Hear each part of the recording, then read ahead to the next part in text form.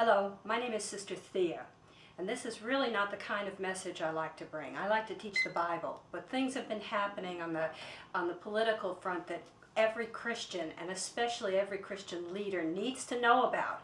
You need to be prepared. So right now, what I'm doing is sending the, spending this few minutes with you to send the warning, and it is indeed a warning. In Canada, our neighbor to the north, there have been strong moves to silence the church in speaking out on various issues. The main issue under target is that of homosexuality. There is something called the Alberta Human Rights Tribunal. And how this works is if someone feels offended, they can go and make a complaint to the Alberta Human Rights Tribunal, and the tribunal will take the case, pay for it, and bring to court those who have committed such grave offenses as saying the Bible condemns homosexuality. Now I have an article here from WorldNet Daily that was posted on June the 9th. It'll give you an example and I want to spend a few minutes going over it. A Canadian Human Rights Tribunal ordered a Christian pastor to renounce his faith and never again express moral opposition to homosexuality, according to a new report. In a decision dated May 30th in the penalty phase of the quasi-judicial proceedings run by the Alberta Human Rights Tribunal, evangelical pastor Stephen Boissoin was banned from expressing his biblical perspective of homosexuality and ordered to pay $5,000 for damages for pain and suffering, as well as apologize to the activist who complained of being hurt. Now this is really something. Remember that this pastor was brought to the court having to defend himself or pay for his own defense, while someone who felt offended got the support of the government and the financial support to bring suit.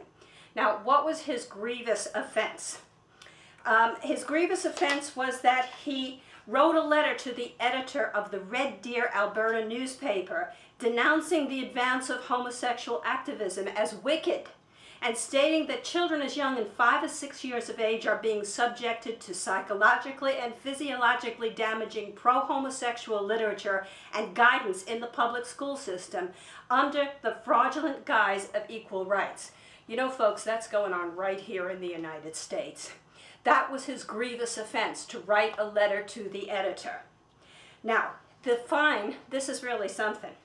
The judge agreed that Boissoin's letter was not a criminal act, and the government tribunal nevertheless ordered the Christian pastor to stop expressing his opinion.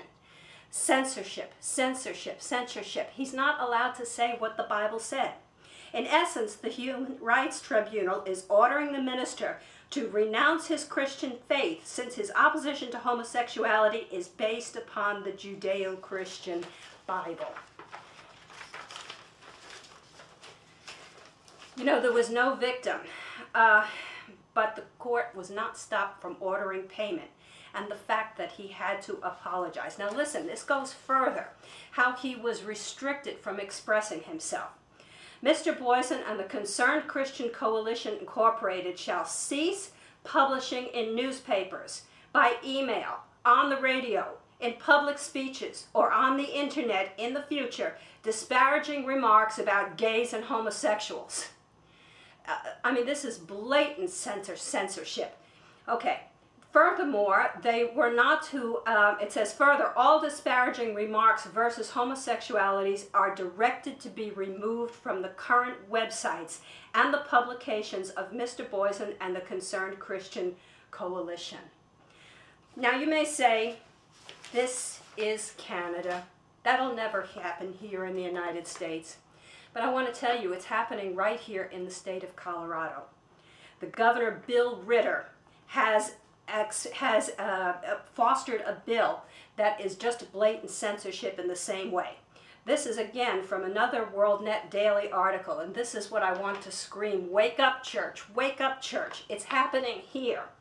This is from June 12, 2008.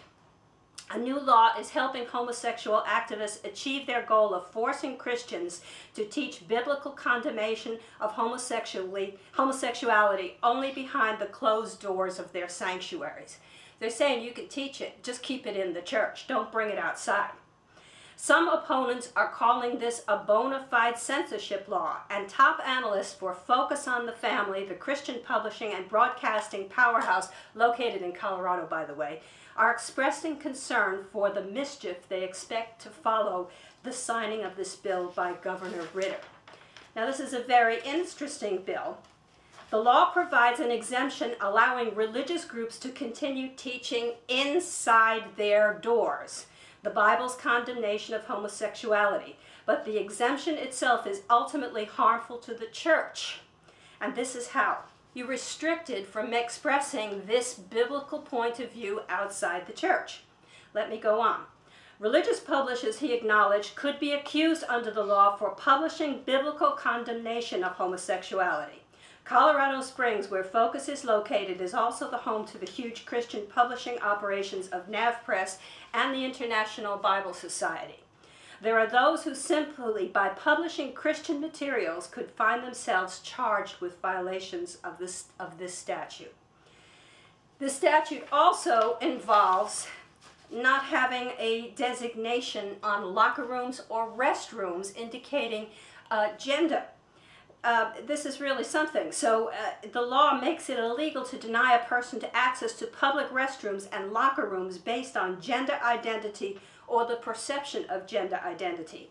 So if you're in Colorado and you're having lunch with your 12-year-old daughter and she wants to use the restroom, you don't know whether she's going in there with any kind of pervert or any kind of uh, child molester uh, because there's no distinction that there's a ladies' room that she can go to. Uh, this is just the inmates are, are running the asylum, it seems.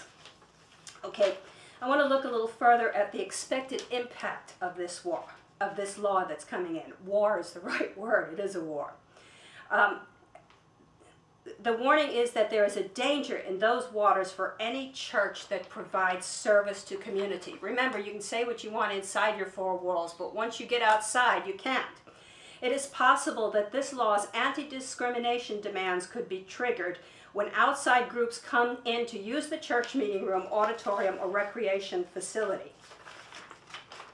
The targets of the complaints won't likely be churches themselves, but more likely church schools and programs that offer services to the communities and the like, critics of the law said. The intent of the homosexual activists who put this law in was to marginalize the church, keep it inside the sanctuary. Worse yet is that many small and medium-sized churches will have to go out of their way, including halting programs to avoid potential conflict because they don't have the resources to wage war over their beliefs. This is where we are right now. We're just burying our heads in the church because we don't want to have conflict. But brothers and sisters, what is happening is what because we don't stand up, because we don't say no, this is censorship. We have freedom of religion, we have freedom of speech. What is happening is we are being closed inside the church. Now this censorship law isn't going to be enforced completely right away. It's an incremental enforcement. They do it little by little so that it's on the book so long and then pretty soon they'll say you can't even say it inside the church. Okay, what do we do? We need to wake up. Instead of just spending our time building bigger buildings so that our church leadership has to worry about how we're going to pay the mortgage when, when giving is down, we need to stand up and take stock of what is going on. We need to support organizations that will take this law to court, will, will stop it. What's it going to take for the church to wake up? I don't like giving messages like this, but church, wake up. Send this video to your pastors, to the leaders. The word has to get out. We need to be aware. God bless you. And I, I pray that God will have mercy on this country.